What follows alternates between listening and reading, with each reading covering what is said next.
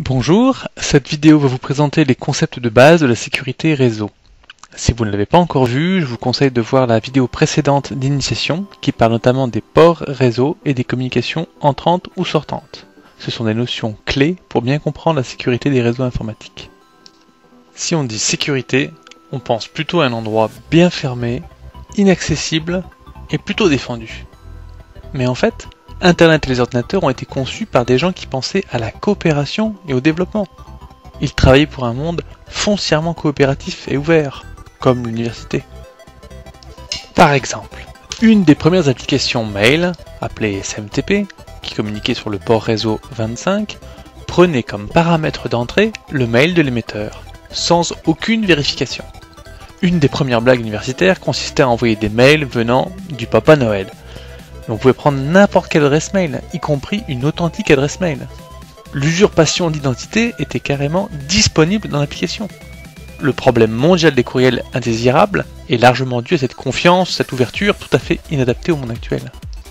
Et derrière chaque port réseau ouvert se trouve un code, une application qui est généralement bien codée et qui bloque les demandes incohérentes, la plupart du temps, mais qui peut comporter des erreurs. Et finalement, lorsqu'elle reçoit des requêtes bien particulières, donner accès à des données sensibles, voire donner le Graal du pirate, permettre d'installer un bout de code malveillant de façon durable sur votre ordinateur, prêt à répondre à un ordre, une requête du pirate.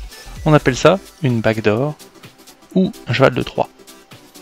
Une fois ce code malveillant installé sur votre ordinateur, le pirate peut récupérer le contrôle de votre machine à tout moment, à votre insu bien entendu. Or, un ordinateur, ça a beaucoup, beaucoup de ports réseau. Et même si vous n'en êtes pas conscient, votre ordinateur en ce moment en a certainement plusieurs d'ouverts et de réceptifs. Voyons maintenant comment voir un peu tous les ports qui sont réceptifs sur cette machine. Pour ce faire, ouvrez une commande box comme montré précédemment et lancez la commande netstat-noq. Vous obtenez alors la liste de tous les ports ici réceptifs, sachant que 0, 0, 0, 0 veut dire en fait toutes les interfaces réseau avec toutes leurs adresses IP sur cette machine. Et l'adresse distance également, donc 0.0.0.0 veut dire tous les ordinateurs, quels qu'ils soient, en fait, ont le droit euh, d'accéder à ce port source on voit que le numéro à droite ici, en fait, c'est l'identifiant du processus dans la machine. Donc si vous lancez le Task Manager, vous pourrez savoir en fait quel est le, code exécuté en fait pour une fois qu'un message est envoyé sur ce port-là. Vous pouvez vérifier du coup si jamais c'est bien un processus Windows ou une application que vous avez installée ou si c'est quelque chose d'autre. On voit quand même qu'il y a un nombre de ports significatif qui écoutent sur la machine si on continue un peu dans la liste, on voit qu'il y a d'autres adresses sources euh, qui écoutent.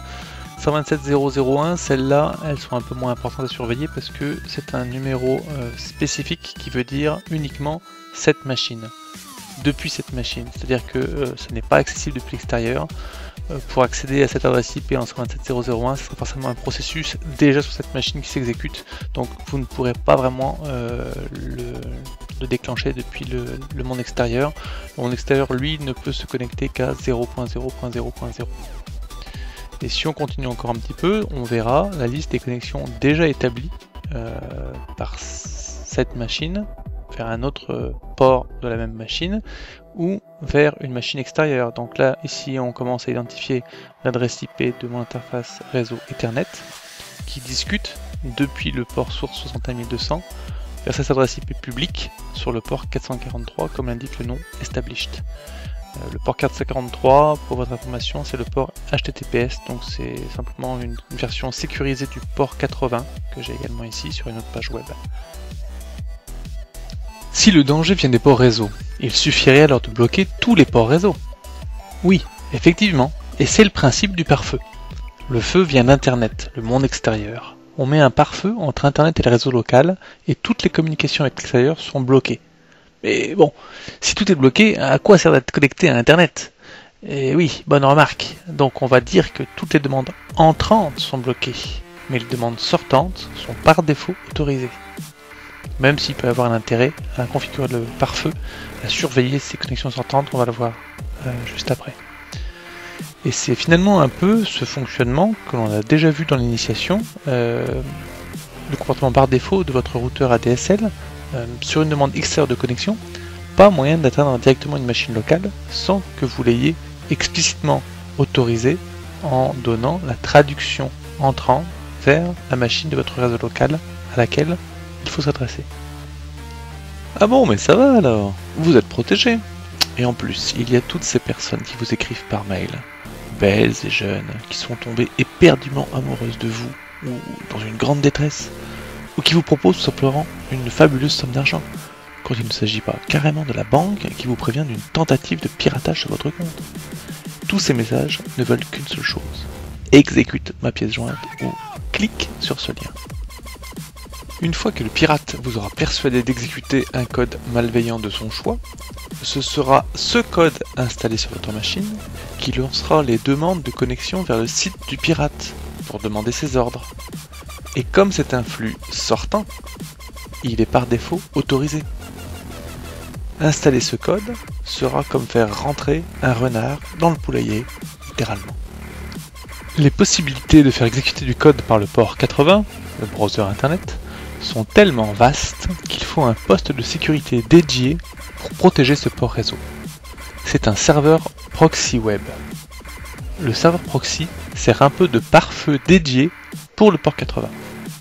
Il inspecte les sites web demandés et bloque ceux qui ne sont pas considérés comme fiables. Il peut également rejeter des fonctionnalités considérées comme dangereuses.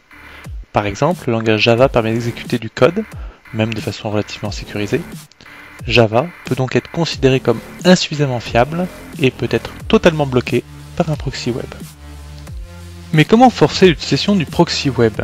Un utilisateur qui a accès à Internet peut se passer du proxy même sans le faire exprès. C'est là que le deuxième usage du pare-feu intervient.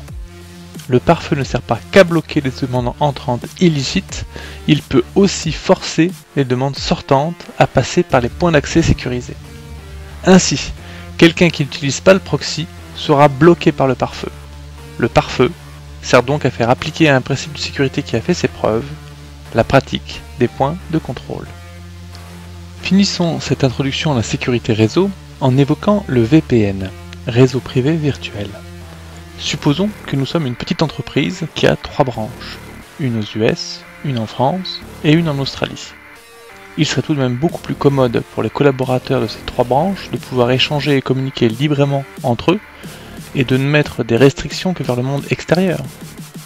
On ferait alors comme un super réseau local d'entreprise euh, et ne mettrait des restrictions que, vers le monde internet.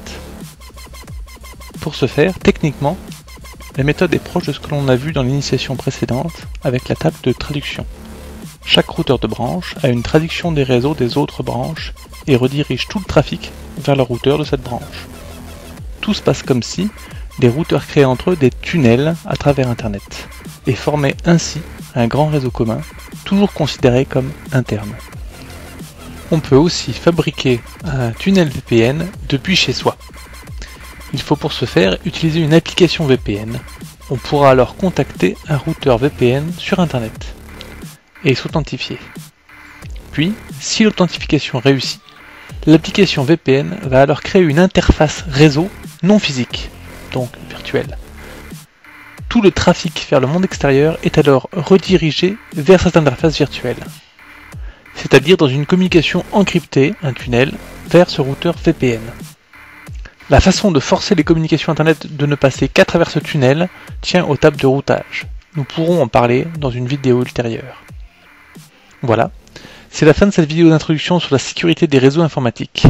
Vous savez maintenant le rôle d'un pare-feu, d'un proxy web et d'un VPN. Si vous avez des questions, vous pouvez les mettre en commentaire. Merci d'avoir suivi cette vidéo et à bientôt j'espère.